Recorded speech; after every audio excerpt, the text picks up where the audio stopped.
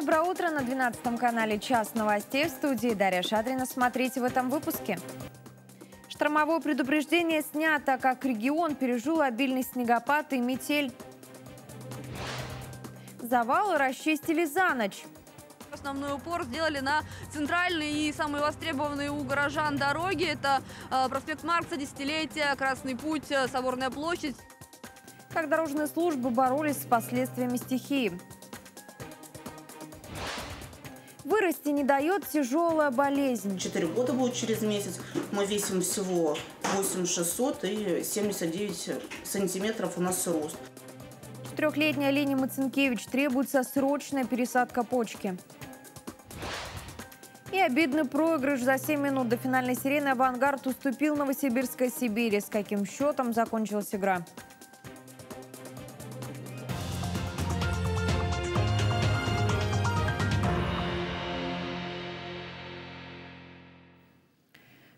Предупреждение в Омской области снято на протяжении суток. Особый режим сохранялся в связи с сильным снегопадом, метелью и шквалистым ветром. За это время масштабных происшествий на территории региона не случилось. Единственное, что изменилось, это статистика аварий. Из-за плохой видимости и снежных заносов автомобили стягивало в кювет, были столкновения. Особо серьезные ЧП на загородных трассах, где движение транспорта традиционно быстрее, чем в городском потоке. Так ДТП произошло на дороге Омск-Чернолучий, Омск-Чурлак. Участникам аварии госпитализация не понадобилась. К слову, из-за аномальной погоды с 15 часов 11 января пришлось приостановить движение транспорта во всех направлениях на границе с Казахстаном. Южный циклон во второй половине дня начал перемещаться в направлении соседней республики. К этому часу ограничения сняли. На территории Омской области проходят три федеральные автодороги. За минувшие сутки на данных автодорогах на территории Омской области дорожно-транспортных происшествий не зафиксировано. После бушевавшей метели в регионе установилась морозная погода. Сегодня столбики термометров опустятся до минус 26 градусов. Отогреться не удастся и в выходные. Синоптики прогнозируют мороз до минус 30 ночью, днем 25 градусов. Впрочем, и на этот раз холода в регионе не задержатся. Уже на следующей неделе вновь ожидается резкое потепление до минус 7 градусов. Критические 9 баллов оценивались пробки в городе после почти суточного снегопада вечером четверга. Чтобы сегодняшним утром ситуация не повторилась, дорожную технику вывели на магистрали после вечернего час пика. 80% работы бригады выполнили в ночное время. Елена Смирнова продолжит. Бороться со снежной стихией начали не сразу. Снегоуборочную технику предусмотрительно вывели не с утра, чтобы не усложнять и без того замедленное движение по заметенным магистралям, а ближе к вечеру основной упор сделали на центральные и самые востребованные у горожан дороги. Это э, проспект Маркса, десятилетия, Красный путь, э, Соборная площадь. Сейчас мы находимся на проспекте Мира, видим расчистку и вывоз снега. Предварительно автомагистрали тщательно прометают, затем наводят порядок на остановках. Только в Советском округе в ночную смену для этого вышли почти полсотни рабочих. Далее снежные завалы с обочины остановок забирает спецтехника. Этой ночью на Омские улицы вывели 426 грейдеров, прометальных машин, самосвалов, КАМАЗов.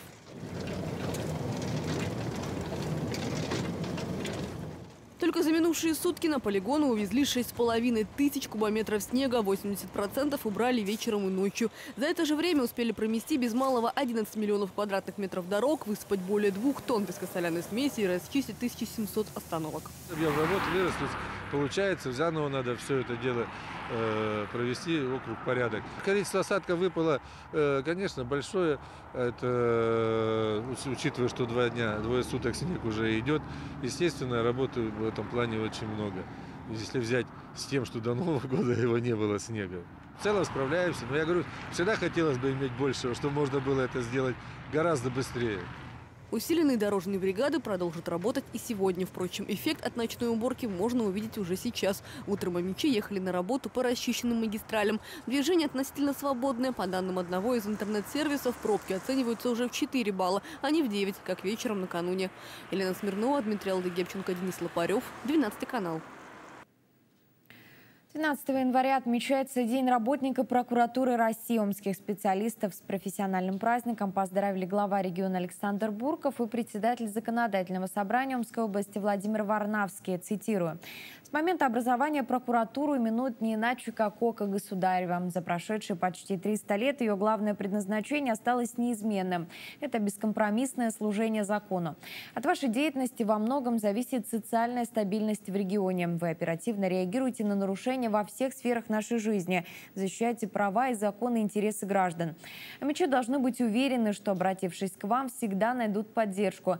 Благодарим вас за работу, желаем здоровья, благополучия и успехов. Конец цитаты.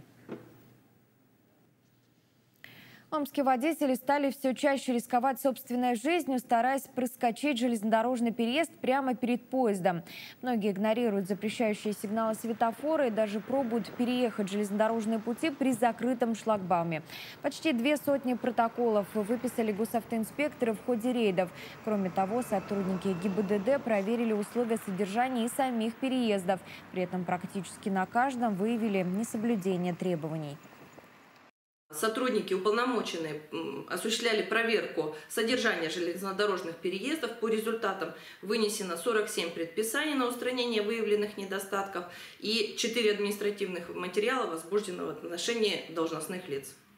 Госавтоинспекция обращается ко всем участникам дорожного движения. Помните, что нарушая правила дорожного движения при проезде железнодорожного переезда, вы подвергаете не только свою жизнь опасности, но и жизнь всех пассажиров. Присадка почки требуется четырехлетней Мичке Алине Мацинкевич. Чтобы сохранить жизнь ребенку, мама и бабушка ежедневно проводят малышке процедуру диализа. Еще до рождения у девочки отказала одна из почек. Практически не работает, сейчас и вторая. Чтобы днем Алина могла жить жизнью обычного ребенка, чистить кровь приходится по ночам. Благотворительный центр «Радуга» обращается за помощью к мечам. Каждую ночь мы ее ложим э, на процедуру на 10-12 часов смотря из показаний, как у нас сейчас все меняется. Мы практически не набираем ни рост, ни вес. Она у нас практически в 4 года, вот сейчас там 4 года будет через месяц, мы весим всего 8600 и 79 сантиметров у нас рост. Вообще, то есть кальций у нас полностью вымывается из-за того, что проходит процедура периториального диализа ни, ни одни витаминки у нас ничего не усваивается, хотя мы дополнительные витаминки и все стараемся принимать. Благотворительный центр подарил семье аппарат, который выполняет процедуру в автоматическом режиме, однако он не способен улучшить состояние ребенка. Спасти девочку может лишь пересадка почки. Есть донор, это отец малышки, однако на то, чтобы ее выполнить, требуется почти 6 миллионов рублей. Для обычной семьи эта сумма непосильная, помочь или не может каждый. Вся информация на сайте благотворительного центра «Радуга». В Омске выберут лучшего работодателя. В регионе стартовал прием заявок на конкурс. Подавать документы могут все организации и предприятия области, добившиеся высокой эффективности в решении вопросов социально-трудовой сферы. Сделать это необходимо до 1 марта. В этом году выбирать лучших будут в шести номинациях. Обеспечение прав и гарантий работающих инвалидов, улучшение условий охраны труда в производственной сфере, улучшение условий охраны труда в непроизводственной сфере, социальной ответственности и партнерства, создание и сохранение рабочих мест и развитие кадрового потенциала.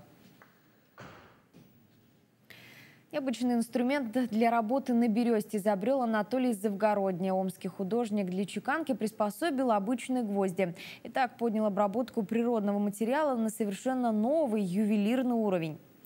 Сейчас мастер закончил коллекцию подвесок 10 украшений, каждая из которых неповторимо и уникальна. Он представит на Всероссийском Бажовском фестивале народного творчества в Челябинской области. Кстати, в 2014 году на этом форуме за свои работы Завгородний получил главный диплом Данила Мастера. Необыкновенные поделки из бересты в гостях омского художника рассматривала Наталья Бельская. Как бы пресс.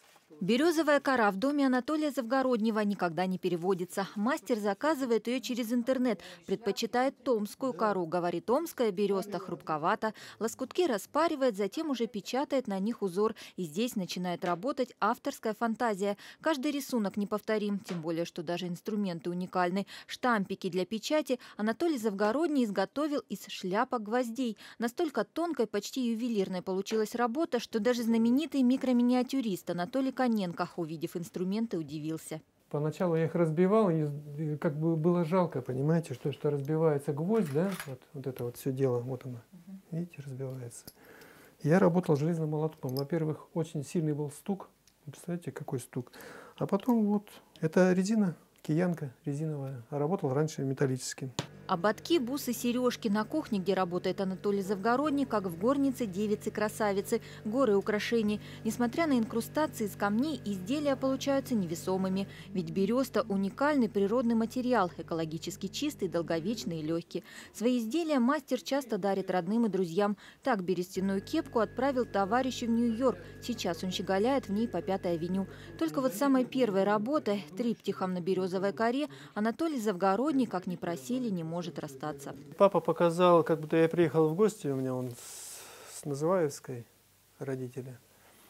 И я приехал, он мне как-то показал э, из науки и жизнь листочек и работы Блинова, московского художника на бересте. Ну, я как-то сперва понравилось, очень интересно, потом все-таки решил попробовать. Вот с этого, возможно, и началось все.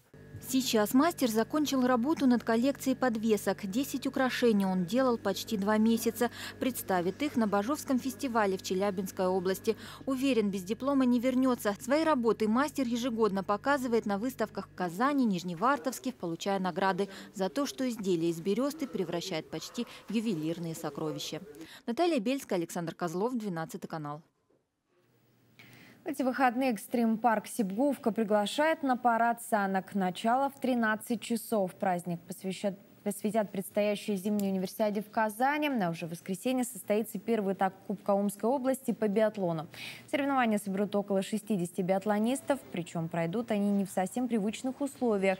Спортсменам предстоит работать на огневых рубежах и соревноваться в легкоатлетическом кроссе.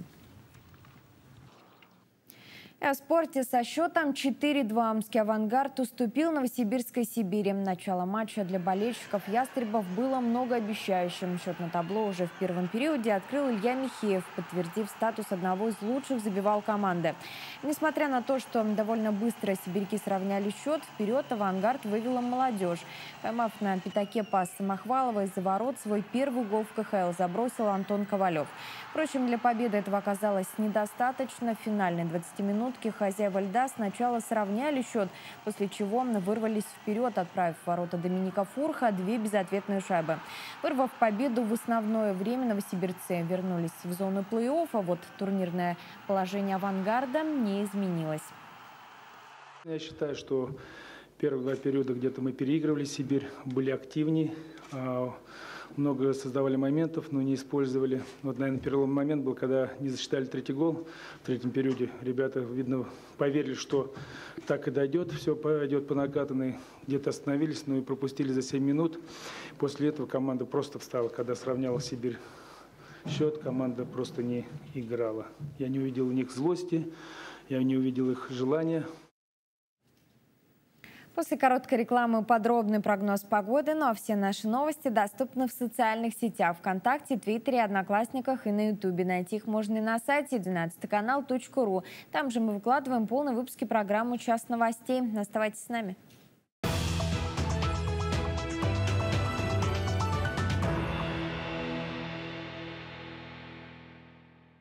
Омск Сайдинг Инвест. Новое производство.